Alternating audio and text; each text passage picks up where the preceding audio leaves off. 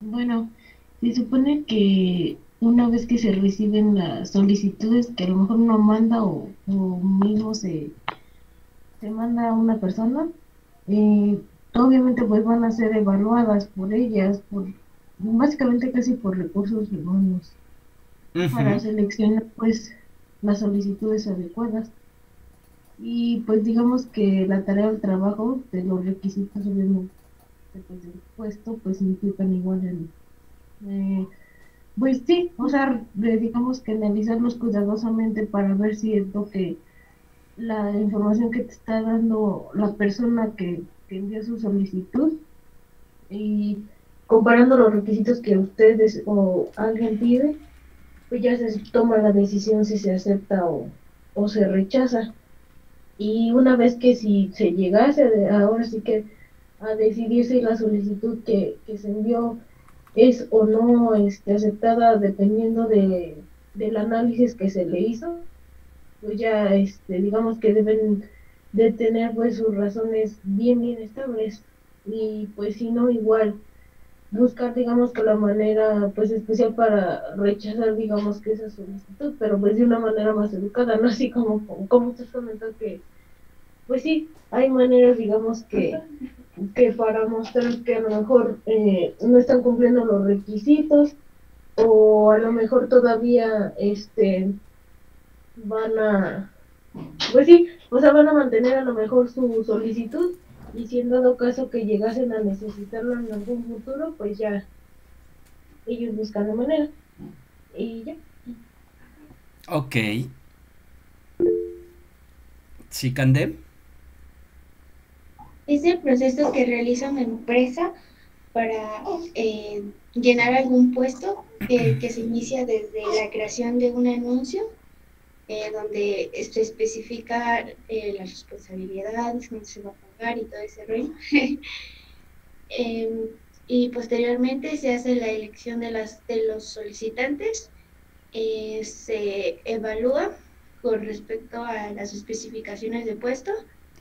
Posteriormente se hace la, elección, bueno, y se... ¿Se hace la qué? bueno, la selección. Ah, sí, sí, sí, sí. es que no escuché bien, perdón. No, no se preocupe la selección y se notifica ya sea si es aceptado o es denegado y se hace una previa cita para que se ahora sí que sea la entrevista física se podría decir y hasta ahí creo ok muy bien alguien más chicos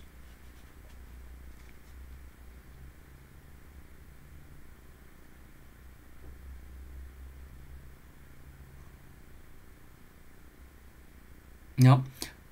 Por ahí, bueno, tanto Paola como Cande están correctas.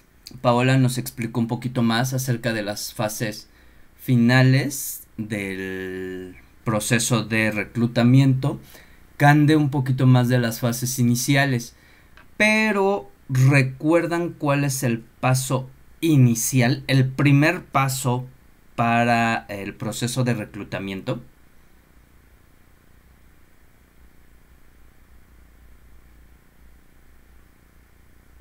Igual de repente es medio obvio, entonces por obvio se nos olvida. Recibir la solicitud, ¿no?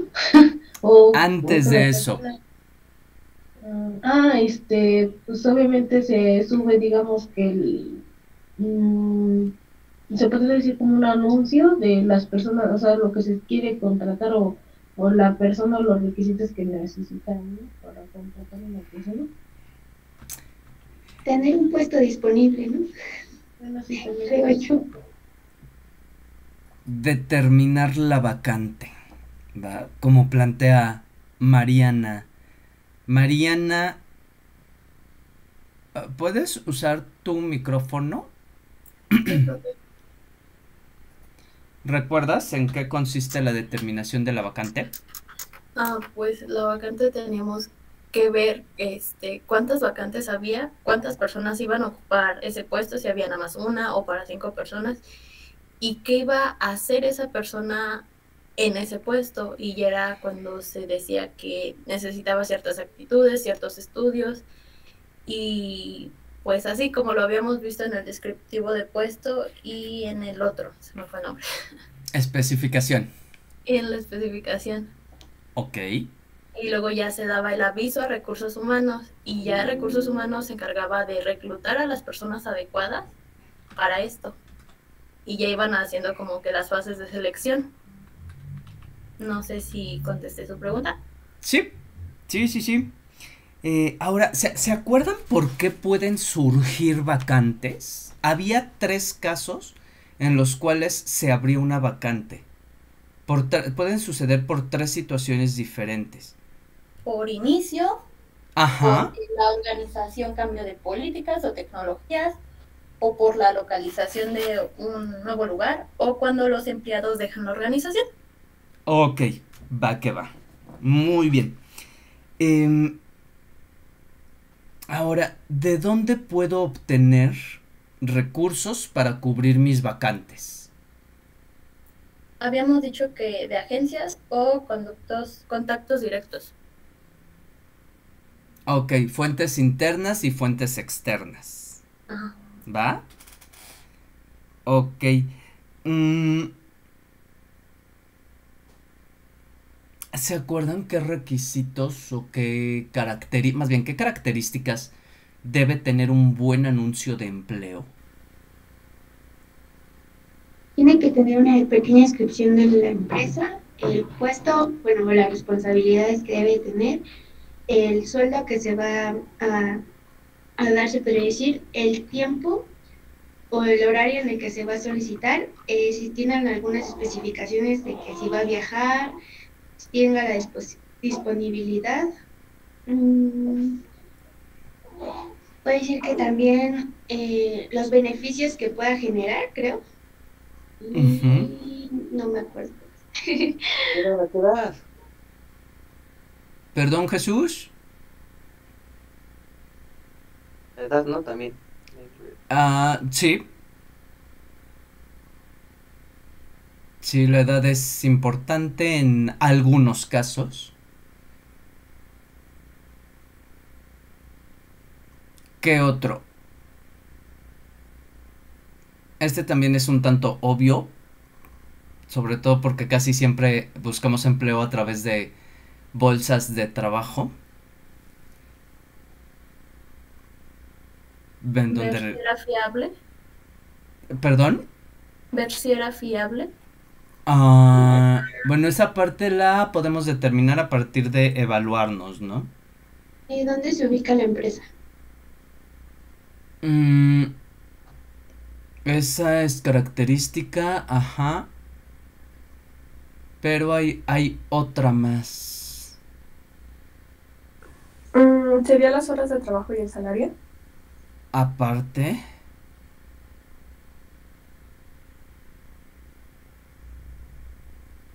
Sin esta característica, no se podría dar el proceso de reclutamiento y no me podría postular. ¿Cómo presentar la solicitud? Exacto, el cómo puedo presentar una solicitud. Que habíamos dicho que era la formal, bueno, la que la daba la empresa o la otra, que son las comunes. Ay, es que se me olvidaron los nombres. Sí, teníamos dos formas de presentar la solicitud para aspirar a un empleo, que podría ser a través de una carta formal, que normalmente es el currículum, o bien a través de un formato de solicitud, y este lo diseña cada empresa. ¿Va? Ok, chicos. Entonces, a grandes rasgos, si se dan cuenta, el proceso de reclutamiento. ¡Ay, qué desastre! El proceso de reclutamiento consiste en todos estos aspectos que están involucrados para obtener la mayor cantidad de candidatos potencialmente aptos para desempeñar un puesto. Se cubre desde la determinación de las vacantes hasta la notificación a, los candidatos de que continúan en el, al proceso siguiente, que es el proceso de selección. Hasta este momento, lo que vamos a recibir pues es mera documentación. Vamos a conocer a las personas a través de documentos, que pueden ser formales o informales. Y con base en ciertas habilidades que hemos de desarrollar o que ya el área de recursos humanos va a tener, pues se va a determinar, ¿no? Quiénes son posiblemente los, los mejores en aspirar a un puesto. Pero en este momento o en esta fase de reclutamiento, pues no vamos a tener una visión física de alguna persona. Toda la evaluación que vamos a realizar la vamos a hacer únicamente con base en eh, pues los documentos que nos está presentando. ¿Sí? ¿O no? Sí, profe. Sí. Ok. Ahora, vamos a comenzar a entrar al proceso de selección. Bueno, antes de esto, retomando otra vez reclutamiento, teníamos dos tipos de fuentes para adquirir candidatos, eran internas y externas. Las externas correspondían a agencias, que podrían ser agencias eh, gubernamentales, agencias institucionales u organismos este, Privadas. privadas. Sí. ¿Va? Entre las agencias privadas, pues podemos tener a OCC, Zona Jobs, Computrabajo, eh, Monster, Boomerang. Bueno, Monster y Boomerang, no sé si trabajan en México. Son yo, yo las he visto en, mi trabajo porque a veces publicábamos de ellos. Este. Entonces, pues igual si alguien quiere, pues métanse. E- échense un clavado a esas a ver qué tal están. Em, Manpower, Adeco. ¿Conocen alguna otra, chicos?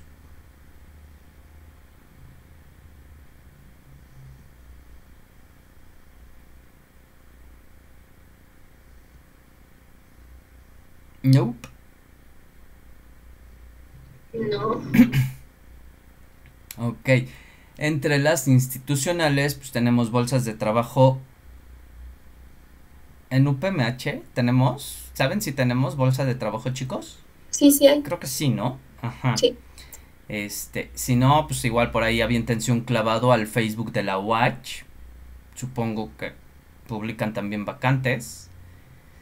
Este, digo, no para la Watch, sino de su bolsa de trabajo. Mm, en la UNAM. La página de la UNAM. Mm, y a veces hacen las publicaciones públicas, ¿no? Sobre todo cuando le surge alguien.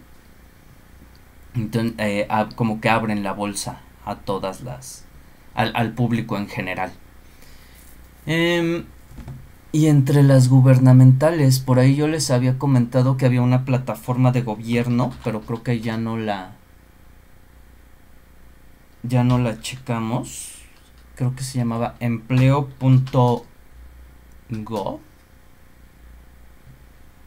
empleo.gov.mx.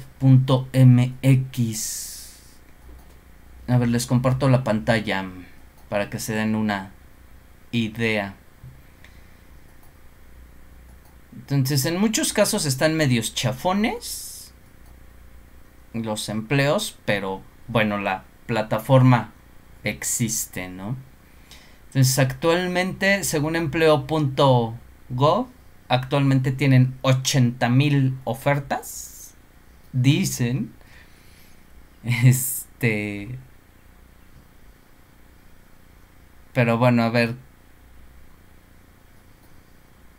Vamos a ver un trabajo en el área de logística.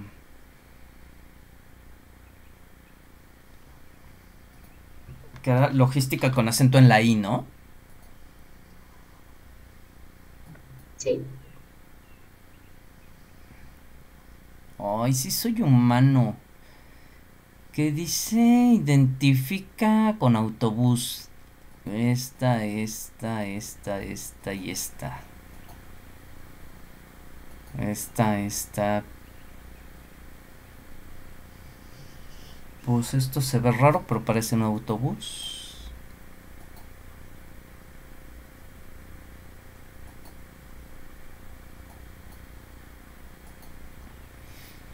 Mm, bueno, aquí hay un auxiliar de logística en la colonia agrícola Pantitlán, el puro glamour. Este, y te están ofreciendo 5500. Auxiliar de tráfico y logística en Tepic. 12 mil pesos. Esta igual suena bien, ¿no? Y quizás ustedes podrían aspirar. Digo, si es auxiliar, yo creo que podrían aspirar. El sueldo inicial para un egresado creo que está muy bien. Tepic, de, eh, Nayarit en general creo que no es un estado caro. Entonces, a ver, vamos a ver requisitos. ¿Qué pasó? Ahí dice experiencia, de uno a dos años. No, hombre, vamos saliendo. Pero pues por eso les digo que le echen ganas con sus prácticas o sus estadías. Ganas siempre hemos tenido. Pero no, no se las echan a, a las este a las a, a estadías. Si hacen sus estadías bien, en forma, pueden ser consideradas como experiencia. Entonces, digo, igual y esto, como es auxiliar, yo creo que podría ser negociable. Esperaría yo que fuera negociable. Y si no, pues nada pierden. ¿No? Conocimientos y herramientas. Procesador de textos. Sí saben usar Word. ¿No? Sí. Sí. Ah, Ahí está, ya, ya. El primero ya lo tenemos. Este, manejo de comercio exterior y aduanas. No, pues no. Nada más vimos los Incoterms y ya. Este, pero Eso sí llevaban investiga. algo de comercio internacional, ¿no? No, Ah, yo juraría que vi una materia de ustedes de comercio internacional. Bueno, vemos. ¿No? Yo a la fuerza quiero que encajen en el puesto. Eh, manejo de Office. O sea, Office, procesador de texto. Creo que el personal de recursos humanos anda medio desubicado, pero bueno, sí saben usar Excel. Sí. hay los dos. Y no avanzado, pero sí. Va. Inglés, pues sí, ¿no? Pero tanto, inglés avanzado no tanto. tanto, pero se hace el intento. Ah, yo pensé que cuando yo les hablaba en inglés no me contestaban porque no me... Eh, porque estaban dormidos todavía, no porque no supieran, jóvenes. Es que se nos acaba el inglés, pero pues sí lo hablamos. Ya sé, caray. Y luego cómo lo, ah, lo usan en la entrevista, ¿verdad? Si nos lo acabamos con los profes. Hay que guardarlo. Ok. Habilidades y competencias, negociación, calidad en el trabajo, planeación estratégica. Eh, bueno, es necesario viajar. Mm, La otra, mm, horario lunes a viernes de 8 a 6. Funciones y actividades, búsqueda de transporte marítimo, negociación con transporte terrestre para el traslado del producto y gestionar operaciones de flujo. ¿Saben cómo hacerlo?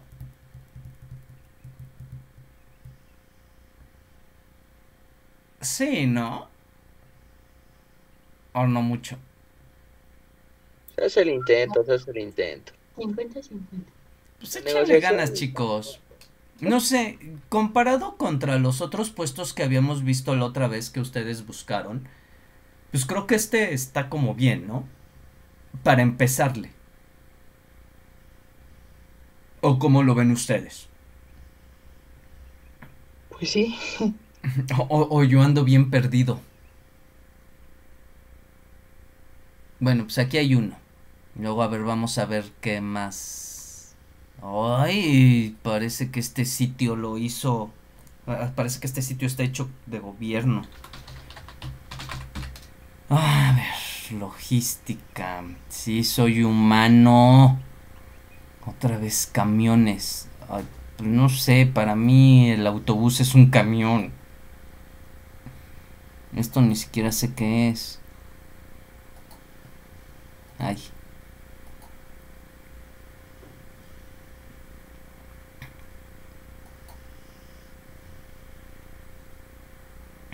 Ok, esta vez el de 5500 en Iztacalco, el de 12 en Mexifrutas, es el de Tepic. Mm, en la colonia Doctores, donde roban de a Bueno, en todos lados te roban de a gratis, pero. Bueno. Coordinador de logística en instalaciones de pisos y alfombras. Bueno, este creo que no es tanto para ustedes. Bájale, bájale, ese no. Sí, no, este. Asistente de logística. Seis mil pesos. Eh, Está muy bien, muy poquito. Vamos por más. Ese de 10. Ese de 45, a ver. A ver el de 45. Ay, pero es alta dirección, chicos. Pero vamos a verlo para que vean a lo que aspiran. ¿Mandé? No dude de nuestras capacidades. No, no, no dudo. Pero la responsabilidad que se tiene es mayor. Acuérdense, entre más responsabilidad, más sueldo. Entonces, pues sí se necesita un poquito más de experiencia. Este es para trabajar en Azcapotzalco, o sea, está cerquita. Cepomex.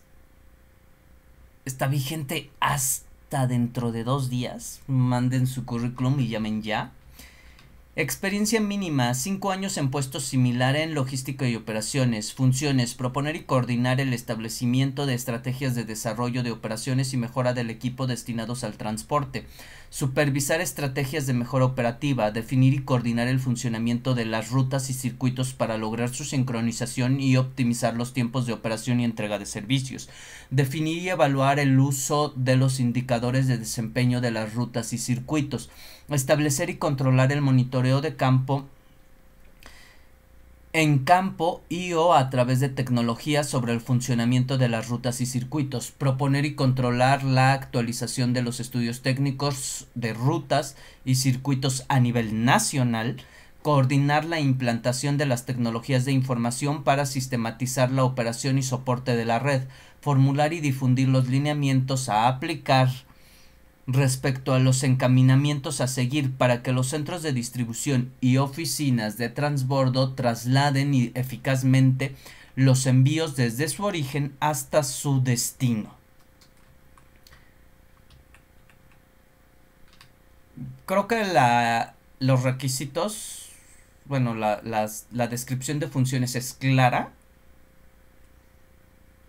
A ojo de buen cubero yo creo que ustedes pueden saber todo esto, solo que sí necesitan más experiencia. Sobre todo en la parte, creo que técnica, de cómo implementar las cosas.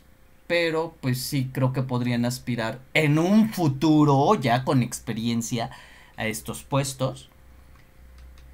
Requisitas, requisitos. Escolaridad, licenciatura de 4 a 5 años en alta dirección de logística, conocimientos en Office, inglés intermedio, habilidades, liderazgo, orientación a resultados, comunicación, tolerancia a la presión, análisis de solución y solución de problemas, Y no es necesario viajar horario tiempo completo lunes a viernes de 9 a 19.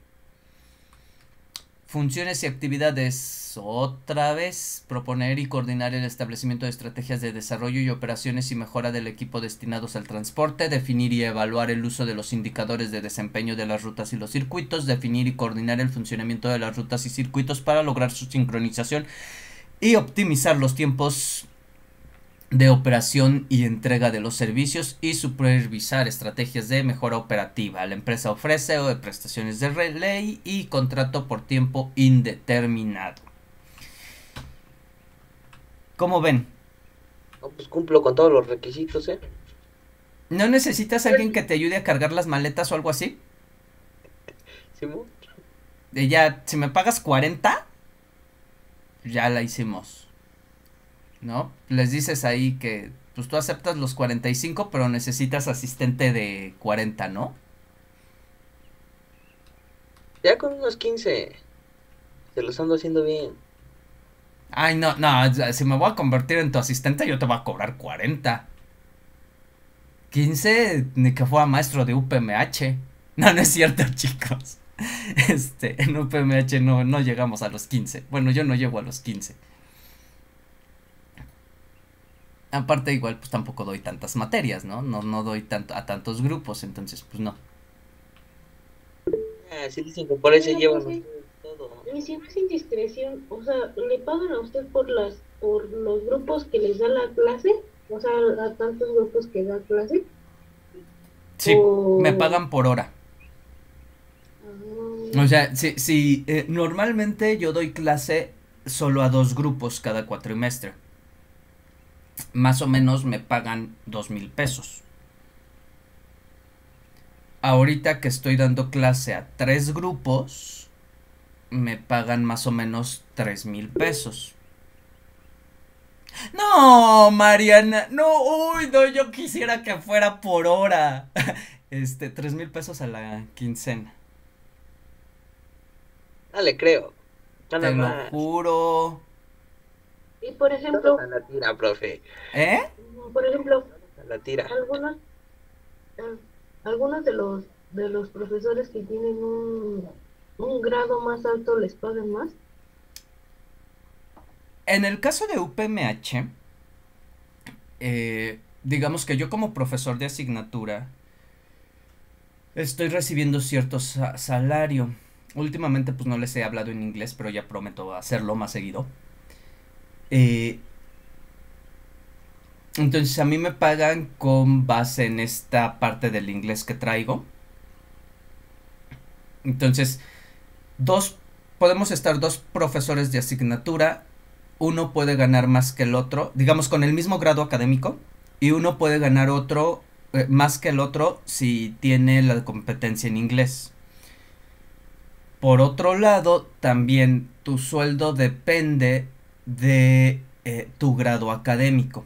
Si eres maestro, doctor o tienes un postdoctorado, te van a pagar más. Oh, Eh, De momento no se ve la diferencia, porque yo creo que en clases de licenciatura, a mí por ejemplo me están pagando como 90 pesos o algo así.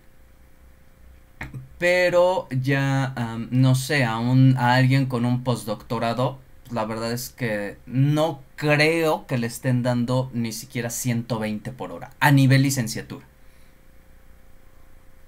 Entonces, de momento, pues les digo, no se ve tanto la variación, pero pues si haces cuentas a la larga, sí, este, sí es una, una diferencia importante. A los profesores de tiempo completo, pues sí les pagan más. No sé cuánto les están pagando, pero definitivamente pues sí es más.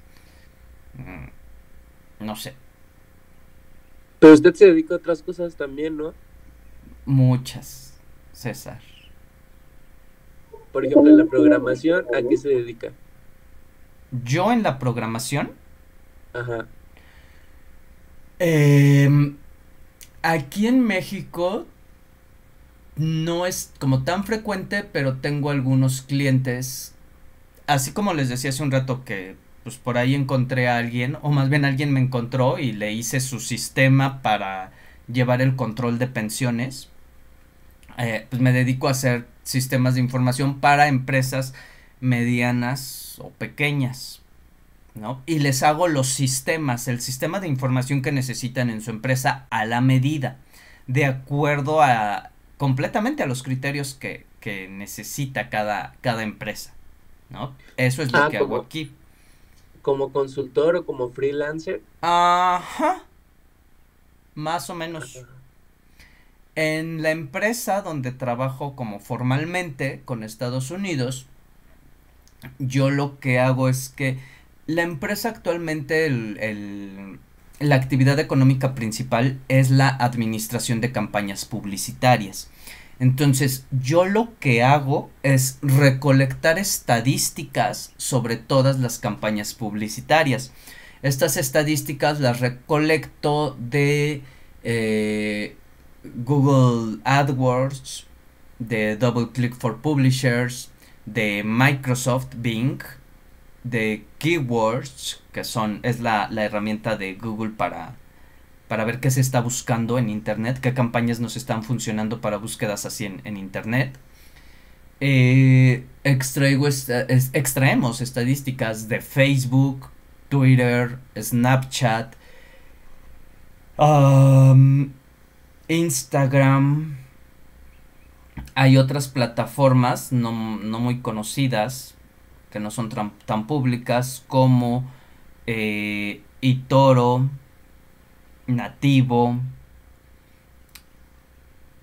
Extraemos información de Salesforce. Perdón, César.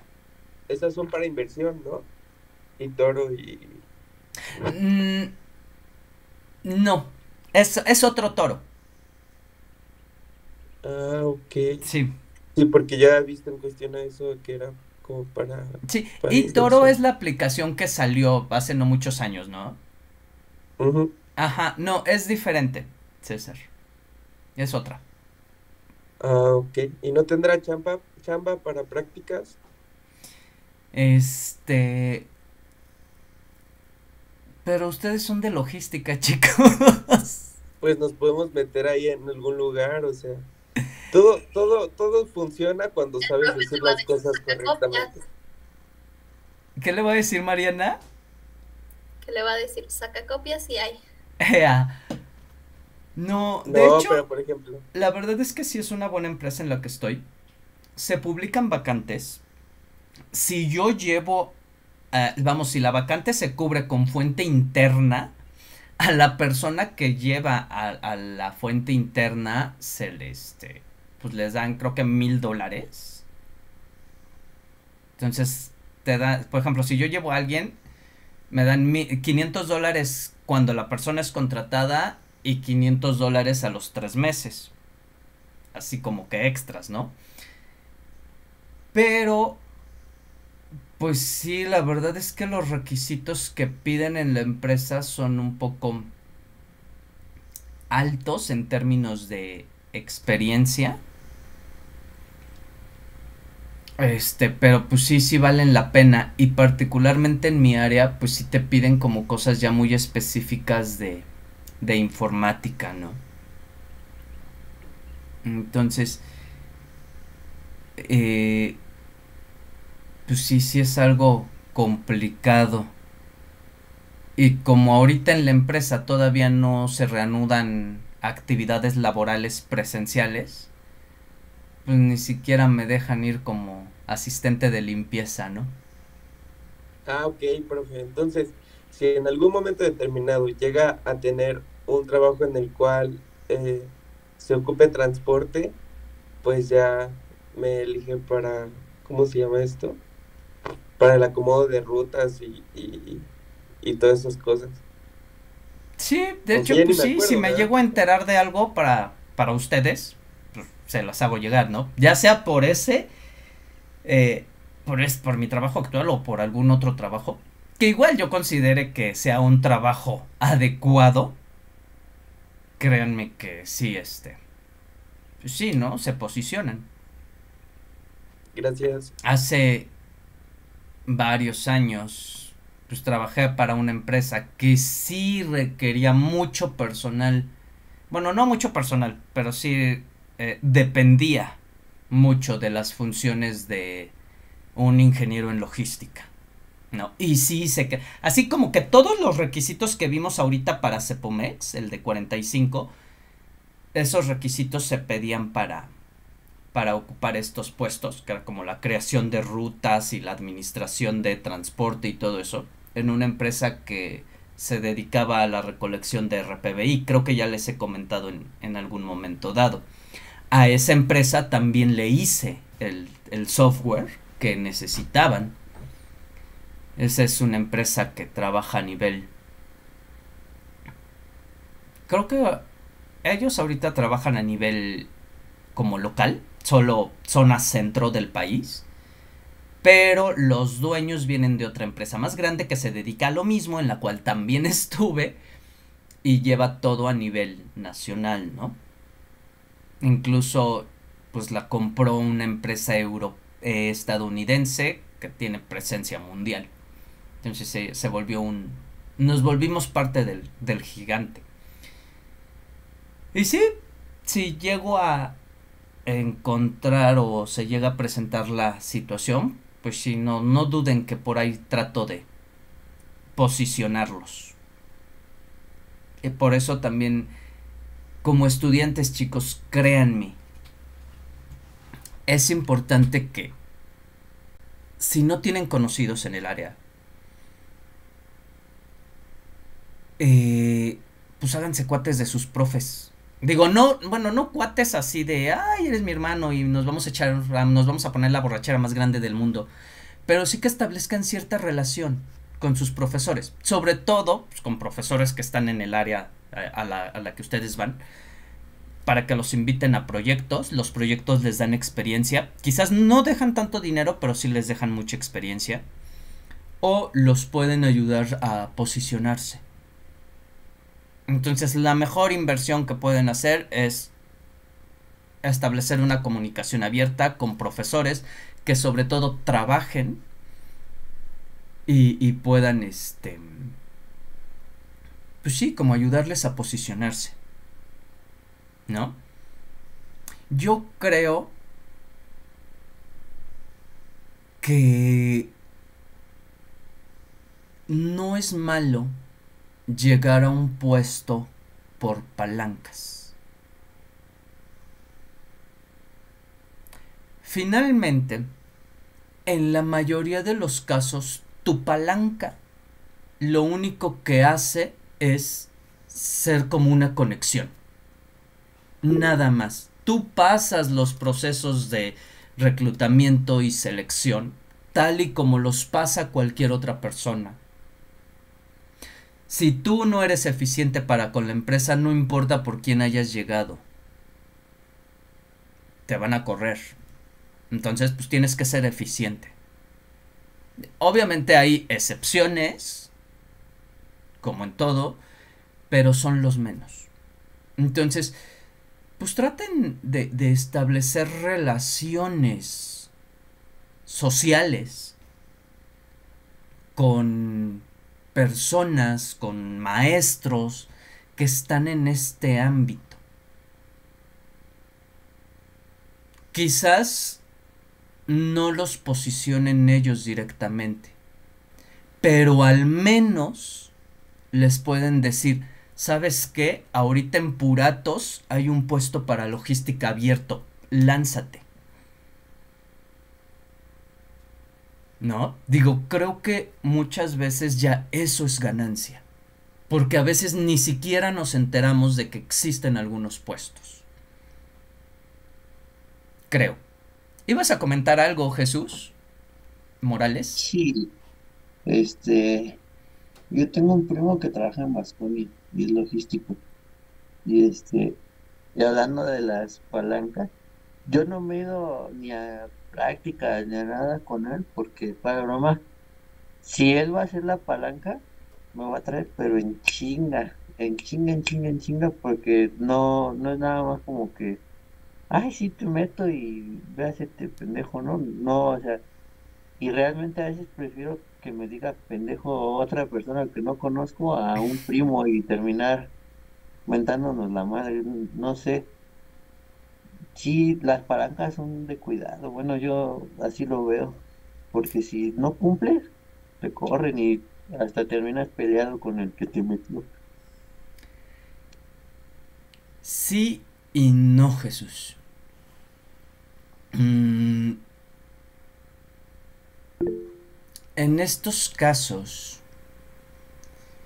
tienes que tomar en cuenta que cuando alguien te ayuda a entrar a alguna empresa, ese alguien también se está jugando su prestigio o su reputación o su nombre. Entonces, digo, yo, yo no sé en particular cuál sea el prestigio de tu primo o cómo lo reconozcan dentro de la empresa. Pero si tu primo ya ha tenido cierta experiencia, si ya tiene cierto reconocimiento, él va a hacer todo lo posible pues por mantenerlo. ¿No? Entonces, pues no va a meter o, bueno, no no no no no es que no vaya a meter a quien él integre en su equipo pues lo va a hacer que se desempeñe de acuerdo a sus criterios.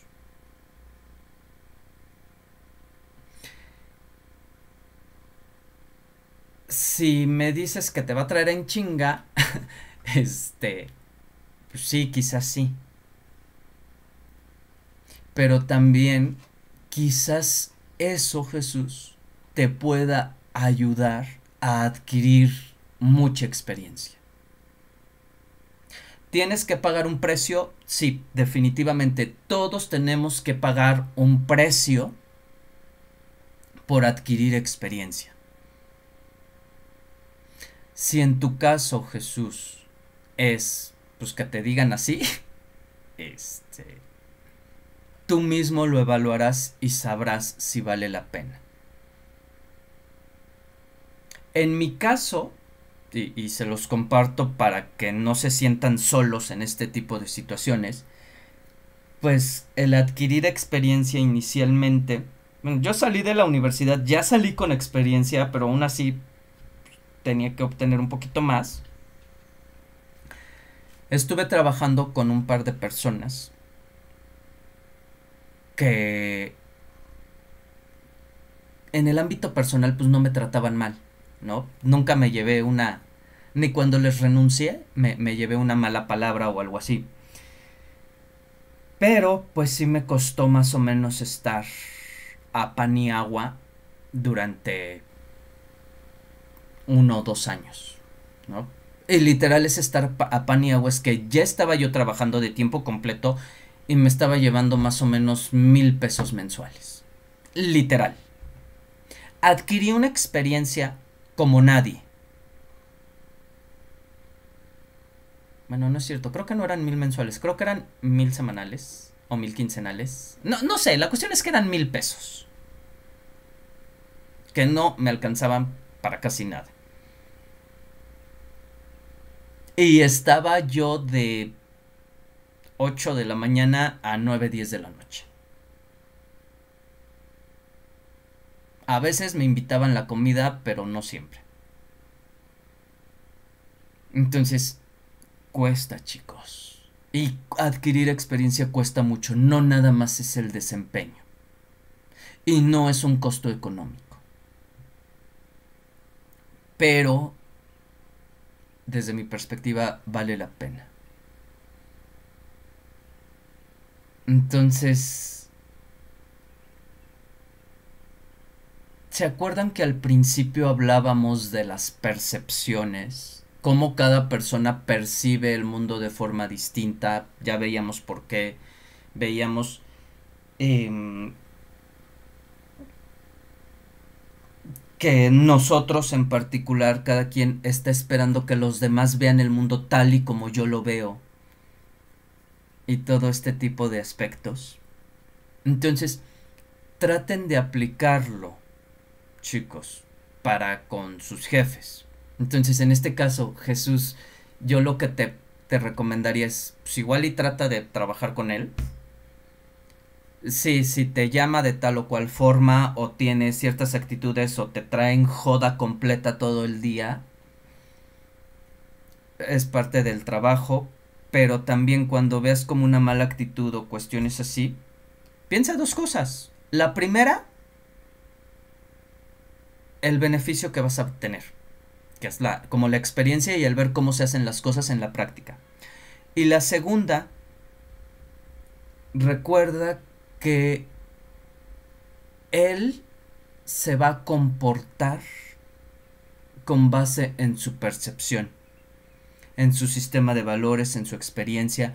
Quizás él ha visto que este tipo de comportamiento es el que le funciona mejor, en teoría, para, para el desempeño de su puesto.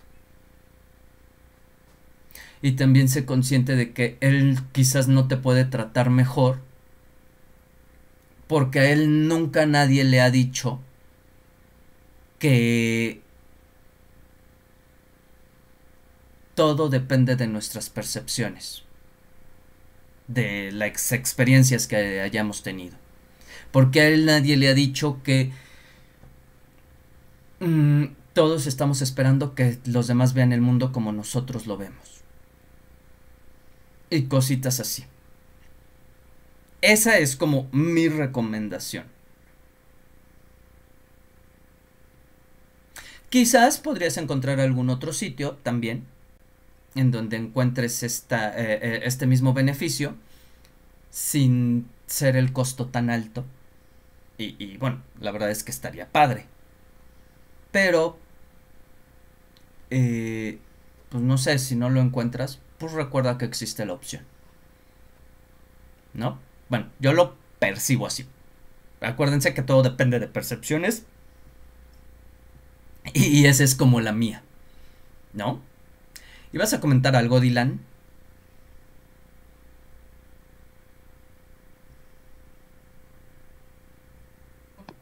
Justo yo iba a decir algo parecido como lo que dijo sobre Jesús. Ya. Ok. Bueno, entonces, a lo que iba cuando empezamos a hablar de los portales estos, como el que vimos, este... Ah, sí, después de ver ese de 45 ya ninguno se ve bueno, ya ningún otro empleo se ve bueno, pero bueno. Eh, ¿Recuerdan cuáles son las ventajas de contratar personal, o, más bien de cubrir una vacante con fuentes internas?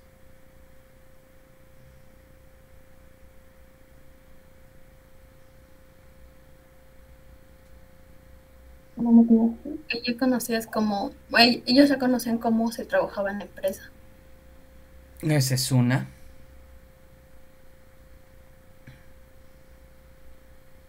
¿Cuál es la otra? Bueno, hay tres, ¿no? Una es que pues ya conocen las políticas y la forma de trabajo de la empresa. Los costos y los tiempos de reclutamiento. Ajá, se reducen costos de... Bueno, sí, los costos implicados en reclutamiento y selección. Y la tercera... La motivación para el reclutamiento, o sea, que promueve motivación. Bueno, más bien la motivación para con el empleado. Sí, sí, sí. Puede ser un factor motivacional para con el empleado realizar la promoción de puesto. ¿Va? Ok. Entonces, hasta aquí chicos. Jordi nada más llega a pasar lista.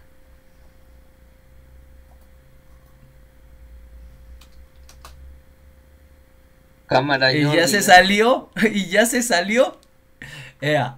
Este, ok chicos, vamos a pasar lista y ya volvió a entrar. Ok. Mm, vamos a pasar lista. Citlali.